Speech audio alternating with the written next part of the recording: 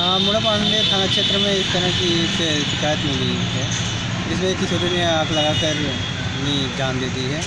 इस संबंध में एक मुकदमा पंजीकृत किया गया है, जिसमें दुष्कर्म का मामला और दुष्कर्म के कारण उसने आग लगा के अपनी जान दी है। इसकी जाँच की जा रही है, क्योंकि उस दिन जब ये घटना थी, घटना के दिन इसके परिवार वाले नहीं थे और उसी दिन एक लड़का गाँव से गायब था। तो लोगों ने खोजबीन करते हुए वहाँ पहुँचे और लड़का उसके घर से मिला था।